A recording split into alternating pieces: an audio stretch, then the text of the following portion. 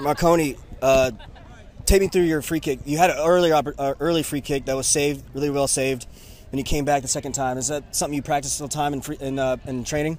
Yeah, yeah, for sure. Obviously, I'm happy that uh, the ball went in, uh, but yeah, it's about uh, kind of like muscle memory. You know, you practice. It's like a routine, and I saw that the keeper was really on his post, so I think it was just a matter of like putting it across the across the wall, and you know that's uh, obviously that's what happened. So good, good things. Yeah, uh, you guys scored off two basically set pieces. The throw in um, was the throw in. I think that was from Slaughter that you ran onto.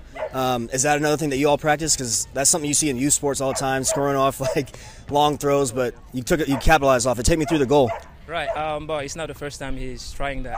We've been doing it in most of the games. Like if we have a, a throw in next to the to the box, he's always trying to put it like long, and I just tried to stay behind the defenders, and the ball went to me, so I was lucky to get the goal. Yeah, good. Well, congratulations on the three points. You guys are moving up the table. Um, what's the, what's the main goals for uh, the rest of the season?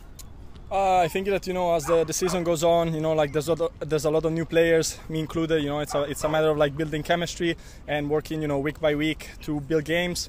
Uh, there's a lot of uh, talent and there's a lot of uh, uh, love for the sport in this club and in this team, which is good because then you can see on the field that we're united, we're passionate until the very end. Uh, which makes a difference in the long run when we try to obviously go up for the higher spots. Great.